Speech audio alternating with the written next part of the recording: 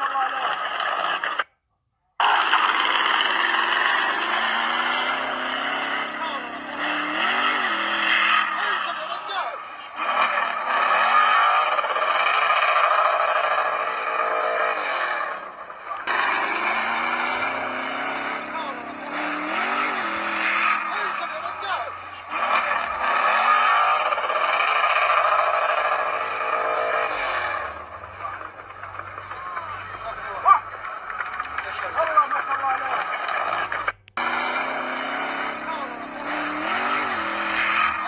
This is how you rescue when its cars burning.